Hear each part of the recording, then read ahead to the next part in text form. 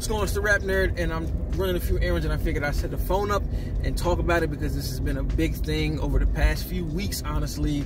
With Oppenheimer dropping on Blu-ray, Chris Nolan has been on a second tour run, it seems like, to do more interviews talking about physical media and how streaming is killing the industry. And I actually agree with him, but I wanted to take like a deeper dive into like the exactly why and how because I don't think I've heard it mentioned or, or, seen anybody report on it. So this is just my two cent.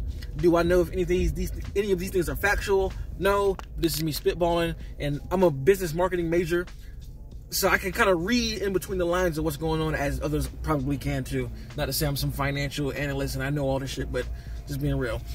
So the reason why streaming is killing cinema or is the death of cinema as many call it is because studios are to blame. They are being greedy as fuck, and that's why streaming is dead.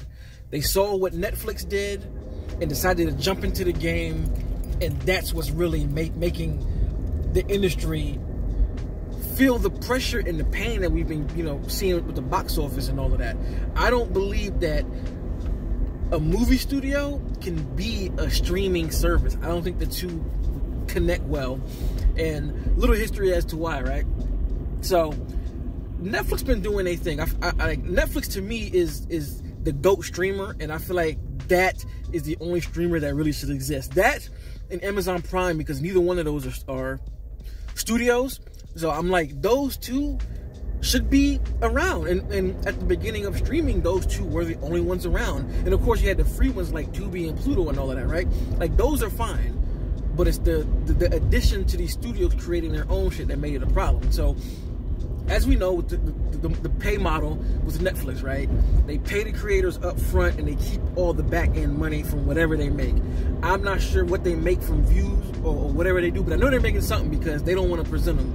And usually, when a company doesn't want you to know how much they're making, it's one of two things. They're either not making shit or they're making a ton of money and they don't want you pocket watching.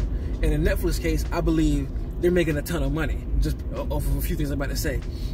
So when they first came, they had a lot of licensing deals with, with studios, getting all kind of movies on their service, and they didn't really start making their own content until when was it? Because I, I, think it was the the, the movie. Uh, Bright, I believe. I think I think they dabbled in shows, if I'm not mistaken. I'm not really a TV show guy, so I don't know that side of things as much as I do in film. But Bright was their first really like big original movie, and I feel like from that point on, they've continued to build their content up, right? So now they have a massive amount of content on their app, and I feel like this has all been a scheme of theirs from the beginning, but they haven't said anything. But anyway, they've had this no ad tier for a while. You know, it's, it's, just been straight streaming, no ads or whatever. And just recently, I believe, was it late last year or early this year, they added an ad tier to their service, right? Because I think information has shown that people don't mind ads as long as the price is cheaper. I mean, we've seen the boom of Tubi, we see the boom of Pluto TV, Roku TV, all of these free services that people are a part of. So we know how it goes. I don't think a lot of people care about that. So I think Netflix knew that or either saw that and was like, you know what, we should add an ad tier to our shit because we have stuff that no other ad no no other app can get. We have a lot of original content that no other app can get.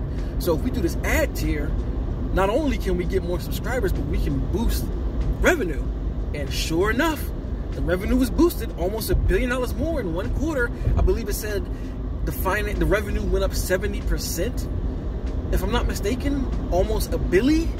So all of that back end money that they're keeping from ads is in their pockets, which is crazy.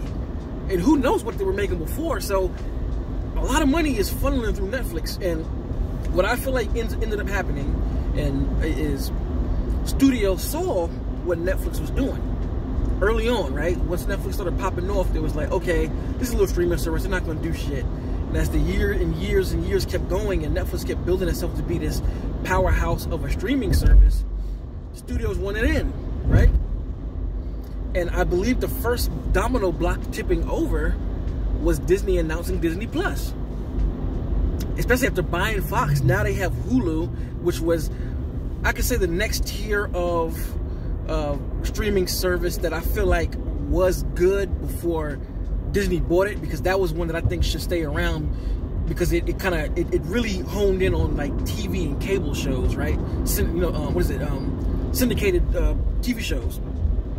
But now that Disney has it, I don't, I don't believe in Hulu at all anymore. So Disney buying Hulu, and instead of them just putting all of their material on Hulu, they made Disney Plus. And I think that made studios nervous as hell. You know, Disney already is monopolizing. Excuse the light. This shit is crazy. Um, they're already monopolizing as it is on a lot of stuff, but studios, as studios do, as business people do, got greedy, and I want a piece of that because I feel like once the the pre-order for subscriptions went up, the numbers boomed. Other studios saw it and was like, "Yeah, we're gonna want a piece of that." And from that point on, we get to 2020 when the pandemic hit. Um, studios panicked and were like, "Okay, well, look at Disney, right? Look at Disney." they just got a whole bunch of subscribers before this pandemic hit. So now we need a service. And that's when we came up with Paramount Plus, Peacock TV, um, Max, and whatever other. I think NBC. I think NBC is Peacock TV, but all of these streaming services came out of nowhere, and now it's a shit show because studios are again having a hard time deciphering how to run business from being a streamer and a studio. And at this point in time, I don't believe they, they know what they're doing uh, at all. I don't believe it.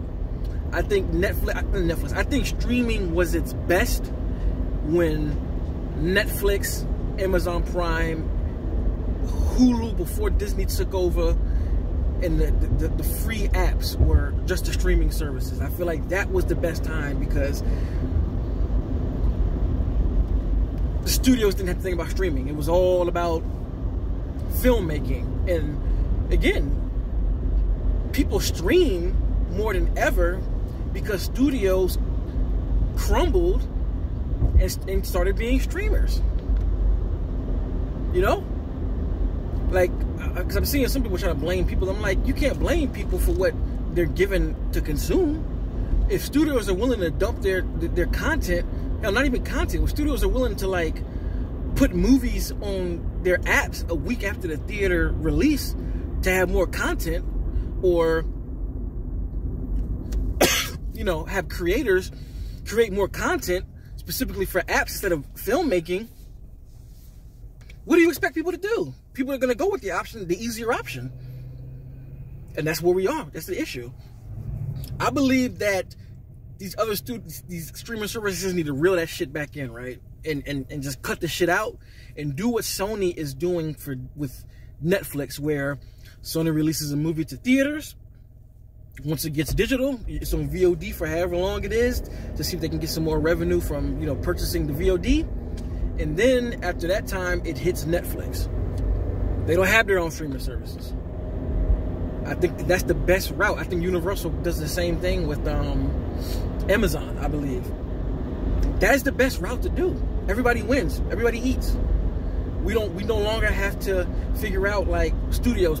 I, I say, don't have to figure out like, hey, we need to pump more shit to our streaming services to keep subscribers or to, to, to uh, make subscribers, you know, rise. Because they're now hitting a point where there's only so many subscribers you can get, fam. Like the window for, for building subscribers is not big. It's not. And this is why I say Netflix is perfect for that model because they're not a studio that relies on box office. When you rely on box office and you're making these 100 million plus dollar uh, movies, like, you know, yearly and you're making multiple ones, you gotta rely on the box office. And it's why now we're seeing movies made of, of, a, of a high caliber um, and they bomb because they don't have any money to, to promote to promote the films.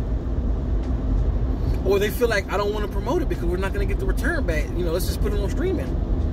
Not helping anything when you throw a movie that was made to be theatrical and just put it on streaming you lose money. Like I think about Blue Beetle, like it was made to be a streaming movie, and at the last minute they switched it up, it's not gonna make money if you're not gonna market it. The movie was like hundred million dollars, like cost, and you just throw that bitch on streaming. Ridiculous.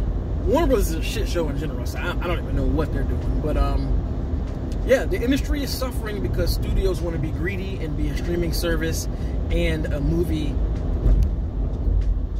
in the filmmaking studio at the same time. They don't work.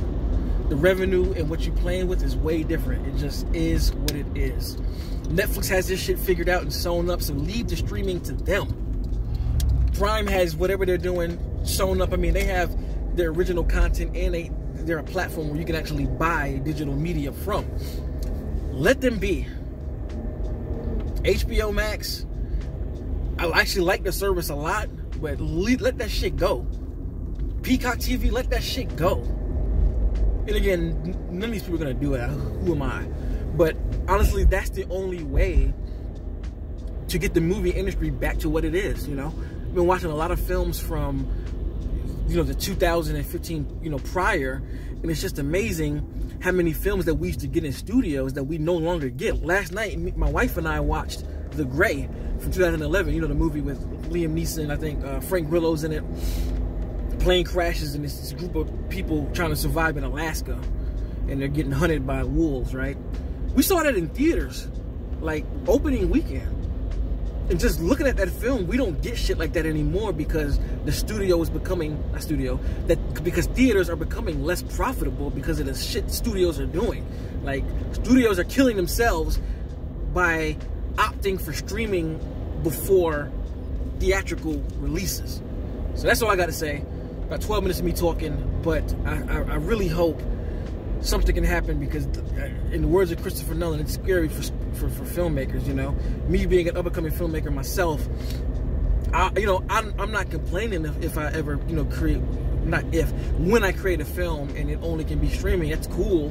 But I would love to get a theatrical shot. I feel like that's the ultimate goal for most filmmakers out there. Like, it's like I want to make a movie, but I at least wanted to be seen on, on the big screen because that's where a lot of us fell in love with film.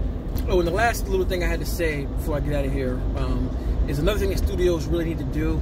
And this is not saying that they don't do it at all, but I feel like there are auteurs who are who who, who have, I guess, um, have a track record of doing good as far as financial financially box office and making creative, leave good content.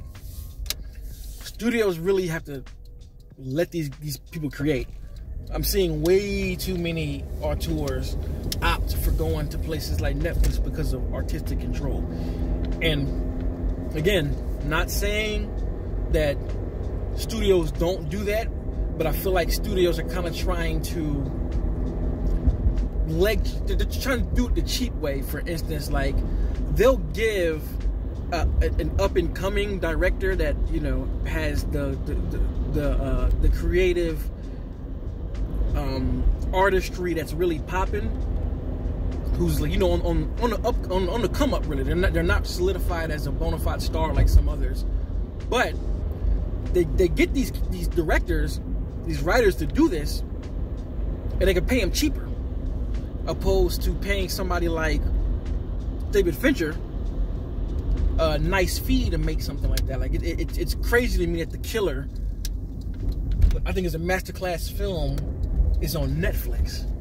It's crazy to me that Del Toro is creating so much great content for Netflix. It's insane to me that Mark Scorsese is last two joints were both technically for streaming. Because I mean, if I'm not mistaken, Killer the Flower Moon is an Apple TV exclusive, and The Irishman was for Netflix. Um, crazy to me that Zack Snyder is making a two-part series, space opera, fucking fantasy film that has a lot of shit going on. Um, Comic Con, Funko Pops, all this type of stuff, right? So again, not saying that's the, that's the root of the issue, but if you really want shit to pop and make things worth going to the cinema for, I would definitely say start including there are auteurs that you banked on in the past that are still good money now. Anyway, let me know in the comments what you think. Give me your points, and um, of course, this is just a conversation, a discussion. No malice if you disagree with me or any of that. But just give me your, your, your words down below, and what do you think is the solution to keeping the theaters alive, man, and, and, and, and big screen filmmaking alive, you know? So if you let us kind of contact, make sure to like and subscribe. And if you already are subscribed, thank you. And until next time, peace. Rap Nerd Productions, no capping, that's word to mommy.